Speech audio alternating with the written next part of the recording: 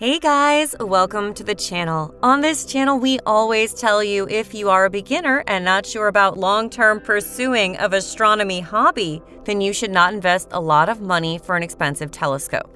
But as a beginner, if you already know that you're very serious about astronomy, then there are some telescopes with which you cannot go wrong with your decision. When you buy a basic beginner telescope, then there is a chance that very quickly you can outgrow that telescope and you'll be in the market again, looking for another bigger telescope. This way, you end up spending more money. But what if you buy an advanced telescope which is beginner friendly and can last you for years and is difficult to outgrow? One such telescope is the Celestron NexStar 6SE. In this video, we'll see the full details of this telescope. This is quite a popular telescope from the Celestron NexStar SE series. Cost-wise, this telescope is in the middle range. Performance-wise, the telescope is in the top range. The biggest model in the SE series is an 8-inch telescope, but it is costly. So this makes a 6SE perfect telescope for the size and its value.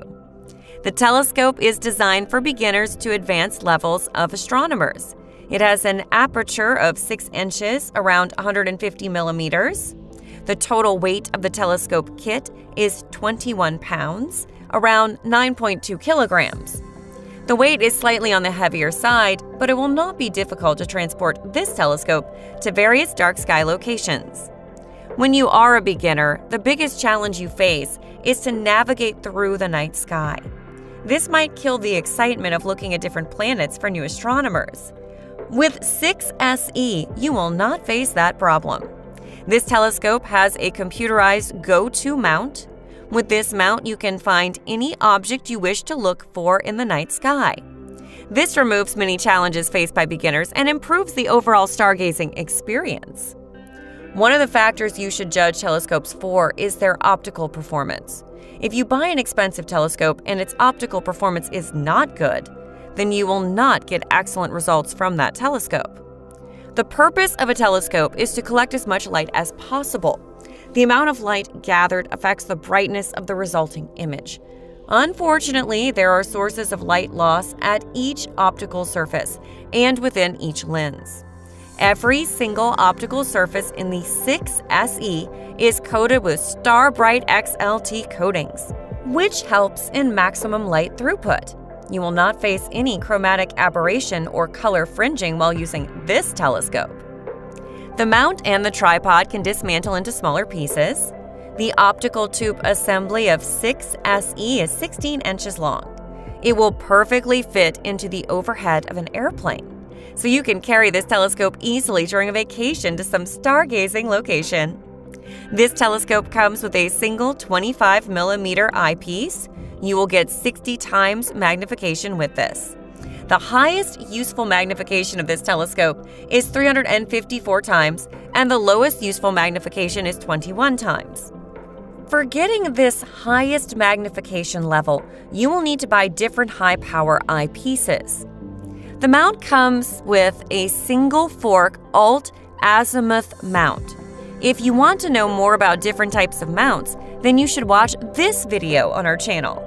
This mount has a database of 40,000 celestial objects. So with this mount, you can locate any celestial object you wish to look for. One drawback of the mount is that it drains its batteries very quickly. So you might want to consider buying an extra battery pack for the mount so you can use the telescope without any interruptions during your stargazing night. With this telescope, you can very well see the objects in our solar system. Observing many bright, deep space objects will not be an issue with this telescope. With this telescope, you can perform astrophotography as well.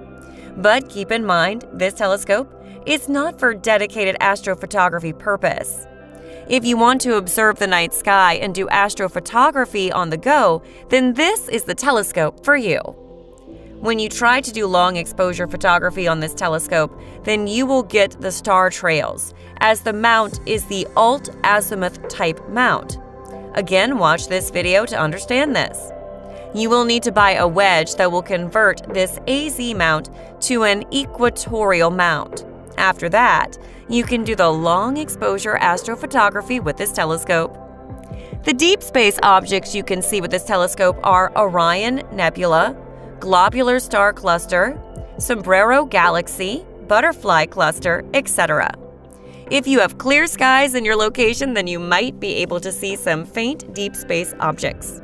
For astrophotography, you can click multiple images of those faint distance objects, and in post processing, you'll be able to see some details.